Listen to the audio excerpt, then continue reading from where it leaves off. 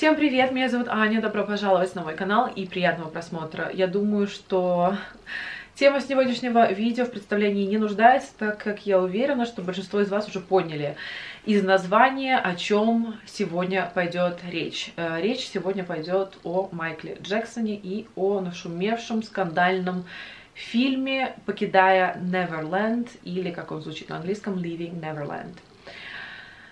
Начну с того, что я уверена, что большинство из вас не знает, особенно если вы подписаны на меня недавно, то вы наверняка не знаете, что я являюсь большой фанаткой Майкла Джексона. И в 2009 году, когда его не стало, я как раз была на поступлении в театральный институт в ГИТИС, я была в Москве и проходила вступительные экзамены. И я помню, мне подружка сказала утром, что она услышала по радио, что не стало Майкла Джексона, и мне очень было непонятно, странно.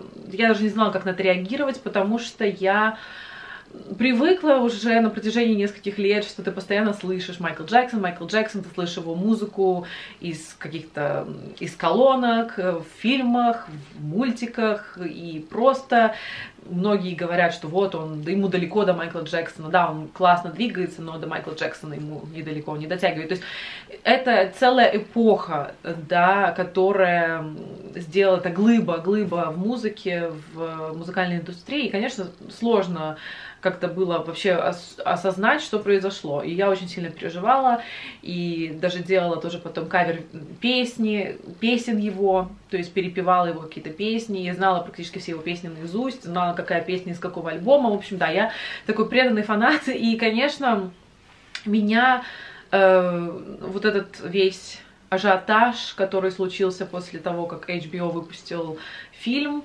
э, четырехчасовой, покидая Неверленд, меня это все очень сильно возмутило и задело. Я даже не знала, как мне на это реагировать. После этого я стала смотреть интервью, которое стали давать члены его семьи.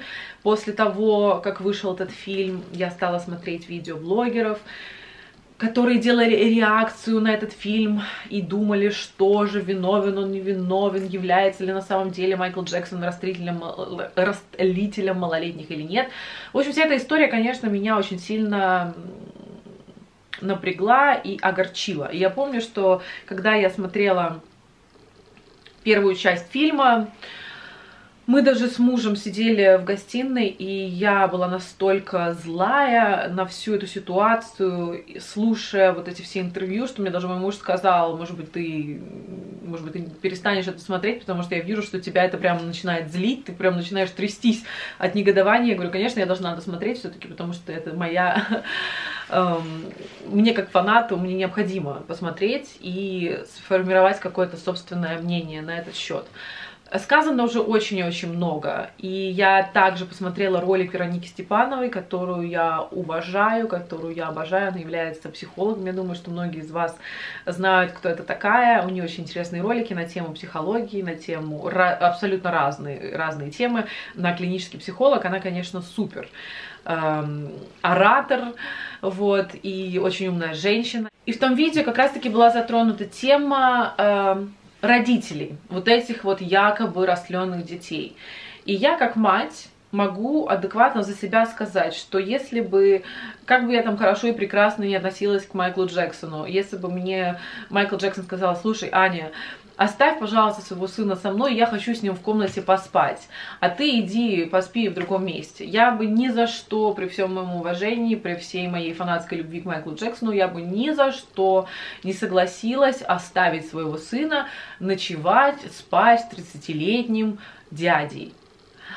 И вообще, на мой взгляд, э, человек, который потенциально является растлителем малолетних, ну вот сколько мы с вами там смотрели различных фильмов, сериалов, каких-то криминальных э, передач на тему, где рассказывается про похожие ситуации.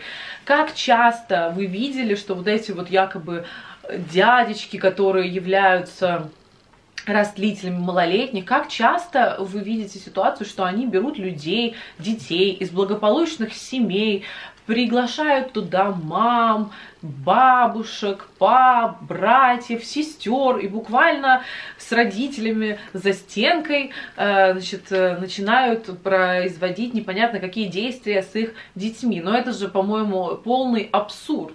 Ну какая нормальная мать позволит своему ребенку спать с взрослым 30-летним, 40-летним дядей на протяжении нескольких лет.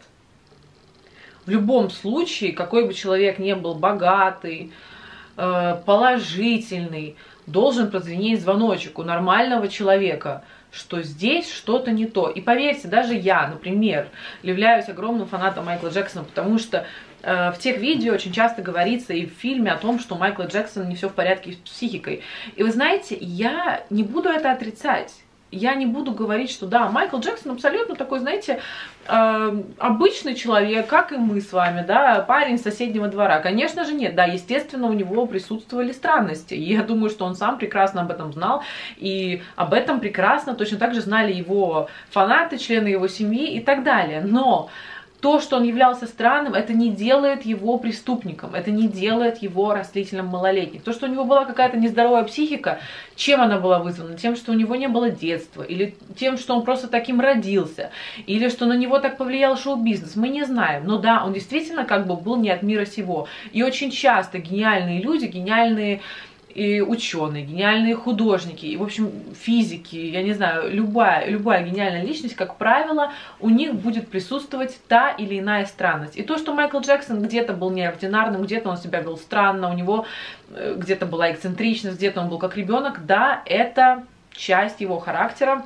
И вот эти вот мамы, бабушки, которые, знаете, буквально добровольно, да, отдавали своих детей в руки плохого дяди, я, честно говоря, вообще не понимаю, как это возможно и почему этих мамаш еще не посадили в тюрьму, потому что в Америке с этим вообще очень строго, вы знаете, там у них такие законы, что если э, органы считают, что родители не смотрят за ребенком, что родители могут потенциально нанести ему вред, то у него просто, у них просто отбирают права. Почему у этих женщин никто не отобрал права и никто их не посадил в тюрьму, мне лично тоже непонятно. Они преспокойненько сидят на шикарных диванах и дают интервью о том, какой Майкл был замечательный, как они его приглашали к себе домой, какой он хороший, нежный, э, внимательный человек, и чуть ли не самый лучший человек, с которым они когда-нибудь э, вообще, которого когда-нибудь они встречали. Вы можете себе представить, что мать, чего ребенка на протяжении нескольких лет подряд над чьим ребенком надругивались, вы можете представить, что мать про насильника своего ребенка будет говорить такие слова,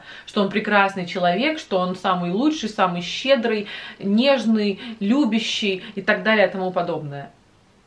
Я себе просто представить этого не могу. У любого нормального человека, адекватного, у матери, если представить такую ситуацию гипотетически, что над, его, над ее ребенком надругались, у нее будет совершенно другая реакция. Она просто захочет этого насильника, я не знаю, что с ним сделать, но как минимум посадить в тюрьму.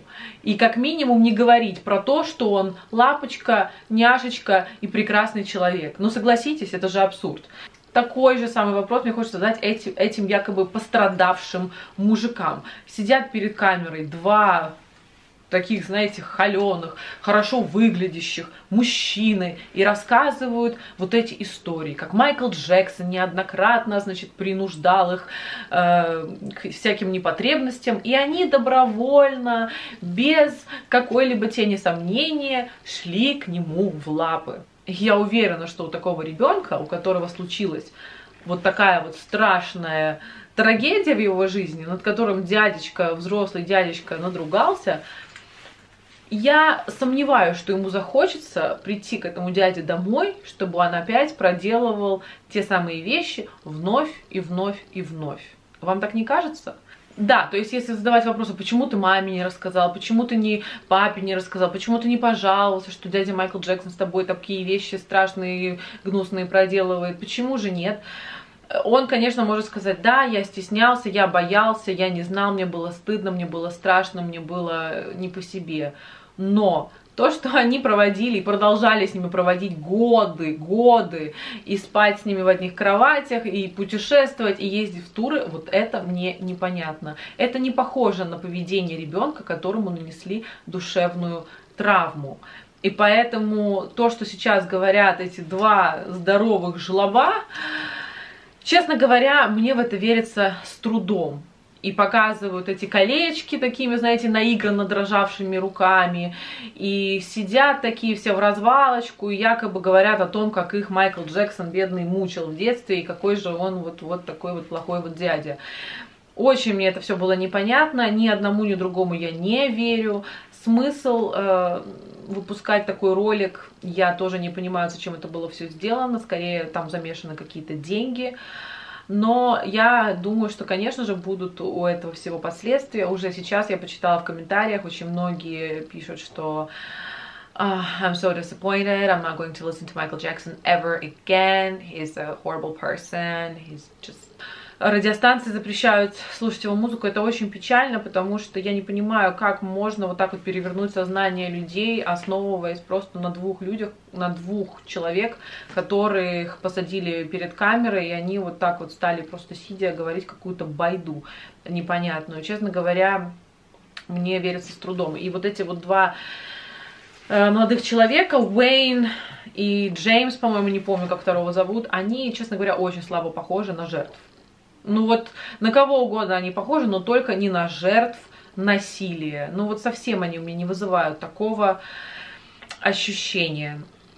И то, что они потом стали подавать в суды, соответственно, суды, которые потенциально могут принести им огромные суммы денег, тоже мне это все кажется странным, и также кажется странным тот факт, что они раньше в этом не признались. Прошло уже огромное количество лет, со смерти Майкла Джексона уже прошло 10 лет, и вдруг сейчас озарение, они решили во всем признаться.